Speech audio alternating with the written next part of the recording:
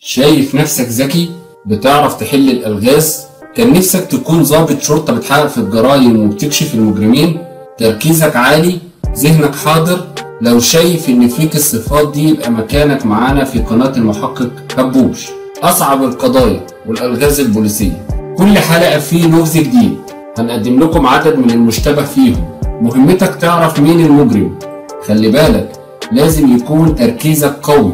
لأن هيكون في غلطة واحدة بس هيرتكبها المجرم فلازم تركز بكل حواسك.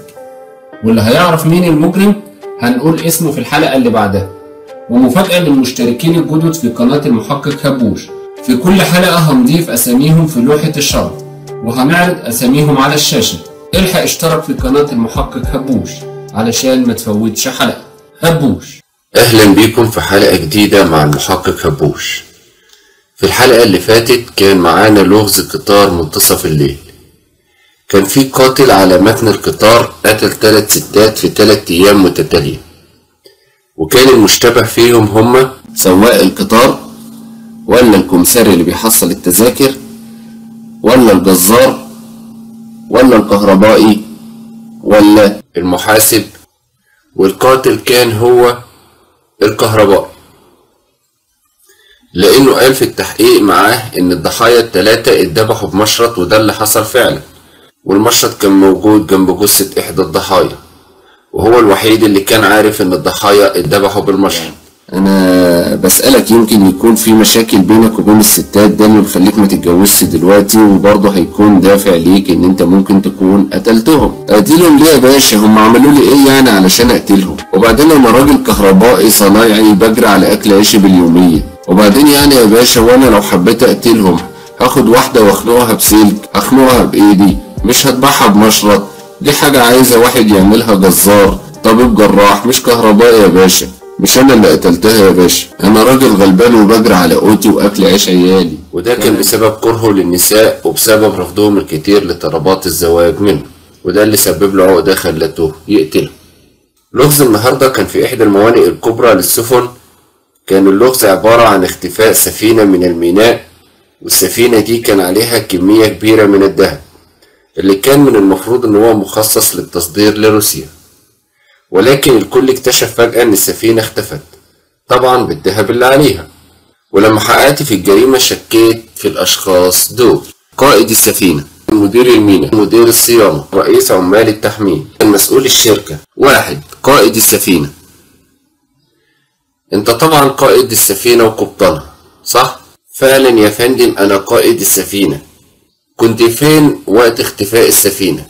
السفينة دي كانت في صيانة بقالها شهر تقريبا علشان حصل فيها مشكلة في آخر رحلة ليها وكانت هتغرق وهتموتنا كلنا. بعد ما وصلنا هنا بالسلامة اتقطرت السفينة لمركز الصيانة وبعدين بلغوني من يومين إنها اتصلحت واتشحنت بحمولة من الذهب اللي مطلوب إن هي تتصدر لروسيا. وطلبوا مني إني آجي النهاردة علشان أقود الرحلة لكن لما وصلت لقيتها اختفت بالحمولة اللي عليها. مش شايف إنها غريبة شوية لما سفينة تختفي من غير ما حد يشوفها أو إن كاميرات المراقبة تكتشفها؟ هي حادثة غريبة فعلا لكن كاميرات المراقبة سجلت كل حاجة. لكن النظام عندنا إن كل 30 يوم بتقوم كاميرات المراقبة بمسح تلقائي لل 30 يوم اللي فاتوا وتبدأ تسجل من جديد. والسفينة اختفت في الوقت ده. وكأن اللي سرق السفينة كان عارف بالموضوع بتاع الكاميرات المراقبة. قبطان السفينة قال لي إن السفينة كان فيها عيب خطير. إزاي تسمح بخروجها وشحنها بحمولة مهمة زي دي؟ أنا مدير الصيانة أنا المسؤول عن سلامة السفينة وبعدين حضرتك السفينة اختفت مش غرقت. علشان تسألني السؤال ده حمولة السفينة من الذهب وصلت إمتى؟ وصلت من تلات أيام بالظبط يا فندم ممكن أعرف إزاي تسيبوا الذهب كل المدة دي على الرصيف من غير ما تبلغوا عمال التحميل بإنهم يرفعوا الذهب والحمولة على السفينة؟ إحنا كان عندنا اعتراض على نوع السفينة وخصوصا بعد ما عرفنا إنها كانت هتغرق في رحلتها اللي فاتت يعني السفينة اختفت وأنت موجود ولا قبل ما توصل؟ لا يا فندم وصلت هنا ما لقيتهاش موجودة خالص ومين بقى اللي عارف بالموضوع ده؟ كل العاملين يا فندم في المينا عارفين كده. ماشي يا سيدي. السفينة خرجت من الصيانة إمتى؟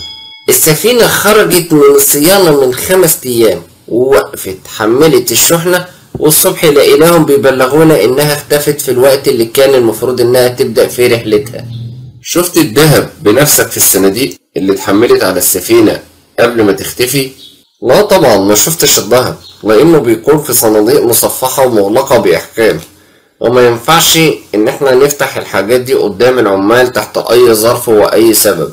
إزاي اتأكدت إنها صناديق الذهب؟ حضرتك أنا شغال في المينا بقالي أكتر من 30 سنة وأعرف صناديق الدهب كويس. وإيه كانت نتيجة الاعتراض؟ واعترضتوا لمين بالظبط هنا في المينا ممكن تفهمني؟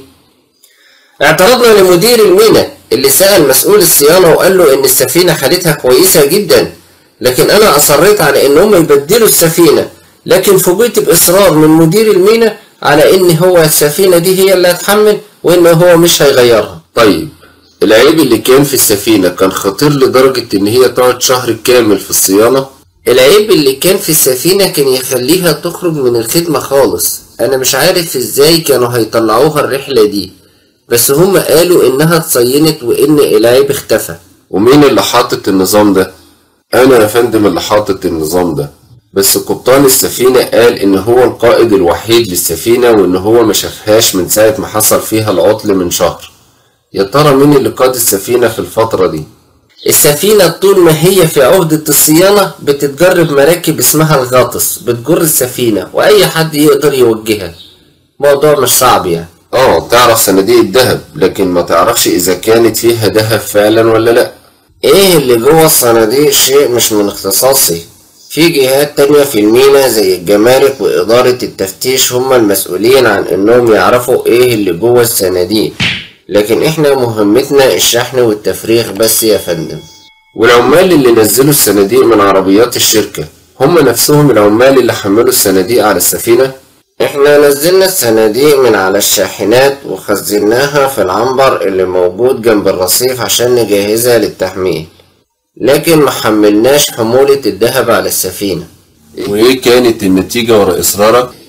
في وقت فجأة لقيتني من كام يوم بلغني مسؤول الصيانة إن الدهب اتحمل على السفينة ولما جيت هنا بلغوني إن السفينة بالحمولة اللي عليها اختفت تماما. في حد غيرك هنا بيعرف يسوق السفينة دي؟ لا يا فندم أنا بس. يعني أنت اللي مختار إن كاميرات المراقبة تفصل كل 30 يوم وتمسح اللي قبلها. أيوه بالظبط. إيه السبب بقى ورا إنكم محملتوش صناديق الدهب على السفينة؟ استنينا السفينة لما تخرج من الصيانة. وهي السفينة ما خرجتش من الصيانة؟ لا خرجت لكن ما بلغوناش علشان نيجي نحمل السفينة بالذهب. في أي شيء يأكد إن الصناديق اللي كانت هنا كانت متحملة بالذهب فعلا؟ قصدك إيه؟ مش فاهم. يعني إيه دليلك إن الصناديق كان فيها الذهب فعلا الأوراق اللي خرجت من الشركة وكلها موجودة معايا هنا. ومين المسؤول عن إبلاغكم بتحميل الذهب على السفينة؟ وليه ما بلغكوش؟ شركة التوريد صاحبة صناديق الدهب هي المسؤولة عن إبلاغنا عن تحميل السفينة ومحدش بلغنا إن إحنا نيجي نحمله والأوراق دي طبعا أنت اللي بتكتبها في الشركة. طبعا. طبعا أنا اللي بكتبها ما أنا المسؤول الأول في الشركة. تمام تمام. أنا دلوقتي عرفت الجاني. لو أنتم كمان عرفتوه اكتبوا لنا هو مين في التعليقات. هل هو قبطان السفينة ولا مدير المينا ولا مسؤول الصيانة ولا رئيس العمال ولا مسؤول الشركة الكبير؟ وبالنسبة للي ما يعرفوش استنونا الحلقة اللي جاية مع حلقة جديدة ولغز جديد. تنسوش تعملوا اشتراك عشان يجيلكم إشعار بالحلقة اللي جاية في وقتها. مع تحيات المحقق هبوش.